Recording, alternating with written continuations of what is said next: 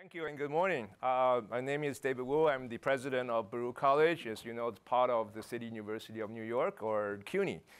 And uh, I just want to share with you some ideas. And every day I get to uh, firsthand witness the incredible talent and uh, diversity and, and the creativity of our students. And the, the idea is, what if New York City could tap into that talent?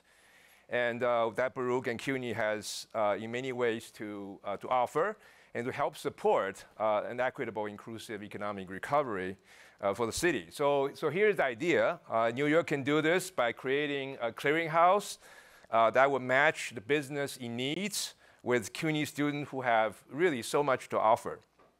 You know by now that thousands of small businesses in New York are facing serious financial and operational challenges and uh, after the pandemic hit. And this is the case especially for those in low-income communities of color or predominantly immigrant uh, communities.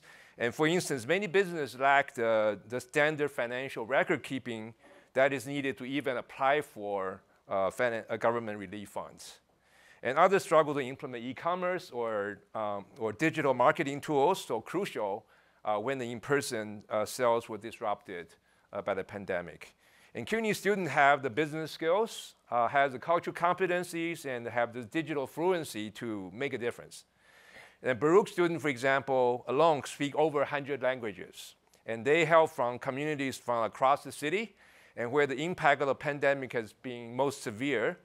And they understand the specific challenges their communities are facing, as well as the unique opportunities that exist uh, to rebound, reach new customers, and to grow and they have the trust of their neighbors and trust that could uh, take well-meaning volunteers from outside the community months, if not years, to cultivate.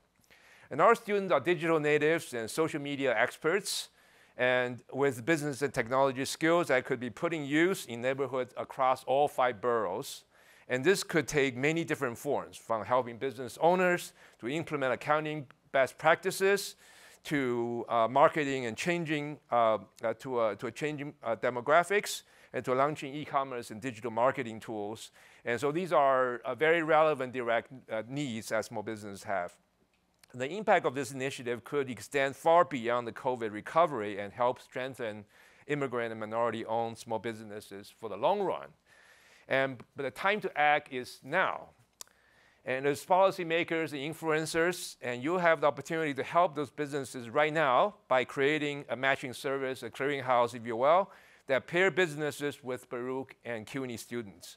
An initiative could be part of a reimagined Baruch and CUNY curriculum where students will spend their service learning time in communities and working with small businesses directly.